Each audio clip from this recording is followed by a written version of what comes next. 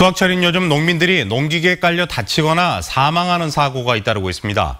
그런데 농민들은 산업재해 보험을 적용받지 못해 피해를 입어도 국가로부터 구제받을 길이 없습니다. 바로 농민들은 산업재해 보험 의무 가입 대상이 아니기 때문입니다. 보도에 송정근 기자입니다. 지난달 곡성의 한 마을길에서 80대 노인이 자신이 몰던 경운기에 깔려 숨졌습니다. 그런데 사망한 농민은 산재보험에 가입돼 있지 않아 사망 보상금을 받지 못했습니다. 농민과 어민들은 다른 산업 종사자들에 비해 재해로 인한 사고율이 높습니다.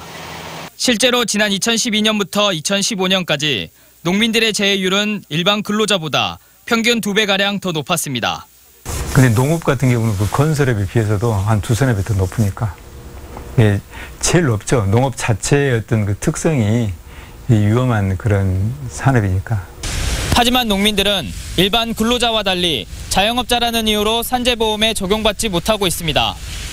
이러다 보니 농민들은 민간에서 운영하는 안전보험을 개인적으로 가입해야 하는데 이마저도 가입률이 낮습니다. 전남 농민은 10명 가운데 3명 정도만 보험에 가입했고 어민은 10명 중 1명만 보험에 가입했습니다. 정부나 지자체에서 보험료의 70%를 지원해 주지만 의무 가입이 아닌 데다 나머지 보험료가 부담돼 가입을 꺼리고 있습니다. 때문에 농민들을 보험에 의무로 가입시켜야 한다는 법안이 발의되기도 했지만 정부가 많은 예산이 들어가는 것을 부담스럽게 느끼면서 결국 임의 가입 방식으로 법안이 통과됐습니다. 그 우리가 요구하는 내용의 보장성을 다 넣어주게 되면 예산의 금액이 너무 많다.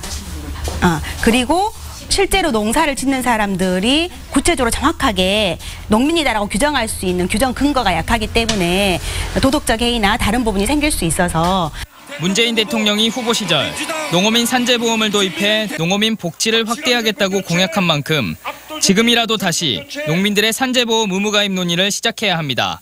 MBC 뉴스 송정근입니다.